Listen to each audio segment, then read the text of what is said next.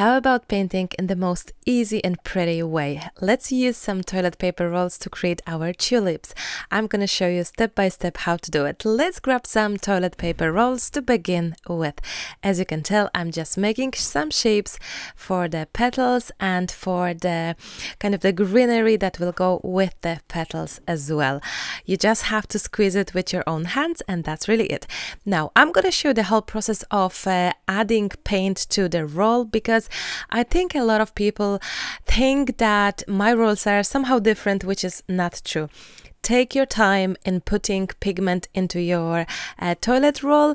You can do more and more. Keep adding. I think the secret for it is to make sure that the roll is wet enough. Keep adding pigment, keep adding water, so your roll will not be as hard. It's going to become a little bit softer at the edges, and it's going to be so much easier to press it and really have the good printing. Uh, because uh, I think a lot of times uh, you have been just adding not enough maybe pigment, and when you were stamping, it just didn't stamp as well. It wasn't as flexible.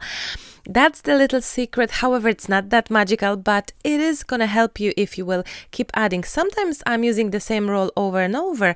Instead of jumping for the brand new roll, I'm adding the same color pigment that I stamped my petals with.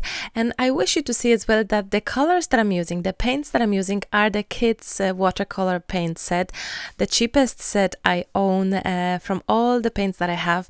And I really wish you to see that you can really be creative, paint with basic supplies. Now I'm adding a little bit of a darker shade of pink because I think it would be lovely to have some kind of color differentiation, a little bit of depth. And also if you're curious about the brushes, I love them, medium set um, and there's some other that I have been using.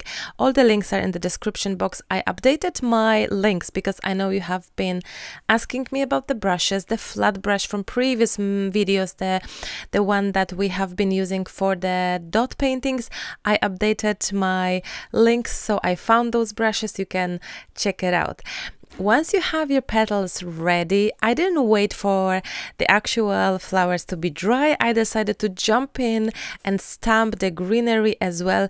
And I was hoping that it's gonna be a little bit touching with each other and that it's gonna be still wet so it will really nicely maybe mix up. Now I wish you to see that I have been taking my time in terms of stamping this greenery because I really wanted to have a proper proper positioning. And i actually stood up to to that. I literally was not sitting down but actually i stood up over my you couldn't see it obviously but trust me i stood up and i could see over my flowers where i'm actually pressing that greenery if that's gonna help you. But it did help me because it was not easy to see where i'm actually going with that uh, roll. So standing up helped me to really see where i'm placing it.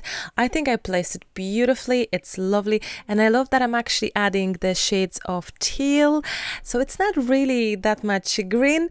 Uh, but uh, teal and I think those two just complement each other beautifully. And I love the idea that a little bit of that teal shades went into that pink and I just like that little bit of a mixture. I am just filling the colors just a little bit of a play and then taking away excess uh, just to create um, a little bit of uh, depth, a little bit of uh, this extra touch, and I'm also taking with the wet brush, taking away the pigment from the petals.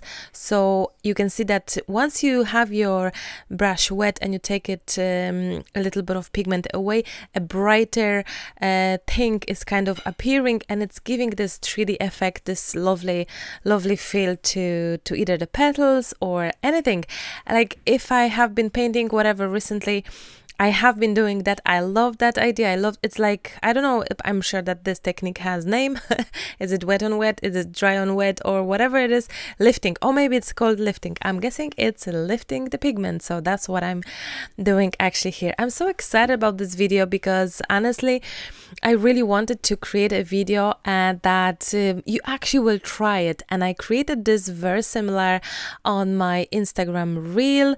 The short version of this was already on the channel, but I thought, wouldn't that be amazing to have the lovely chatty long video? Now the stem has appeared and I was thinking that maybe we need a little extra even color because the pigment was kind of fading. Well, it wasn't fading. I just didn't add enough. I was taking my time and I just felt it would be nice to have even darker pink, even extra on the edges, even more of a contrast, which it's just something I like and probably technically where I'm placing it, it's not really possibly mm, the most professional, I'm guessing, because it probably should be on one side only where the light goes. But I just paint how it feels right to me. I don't focus on technical side of it or how it should be in terms of uh, the realistic po point of kind of looking at it. Now, the splashes, of course, I think the splashes are making the whole page fuller a little bit, and I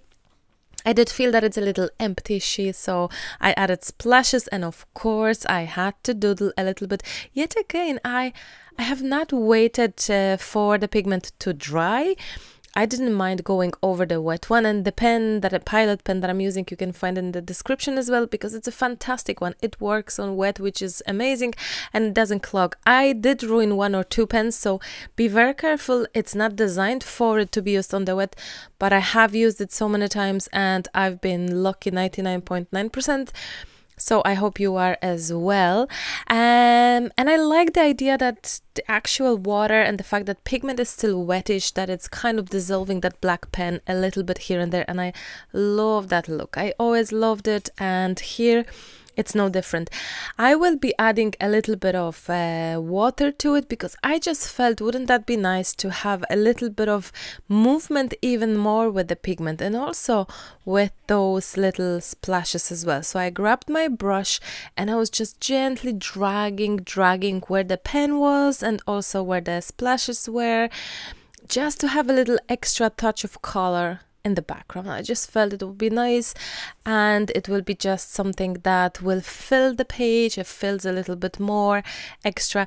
I could add some leaves. I thought about it afterwards. No, I did think about it during, then I thought about it afterwards. I'm looking at it thinking I could have added leaves for whatever reason I haven't and it's the second time that I didn't and I like it that empty issue it's nice. It's okay to have pretty empty flower without um without leaves as well. It's okay I think in my eyes it's okay like to be a little bit outside of the regular zone of how it's supposed to be done because this is more magical I would I would say of course some more splashes and this one is the watercolor white gouache.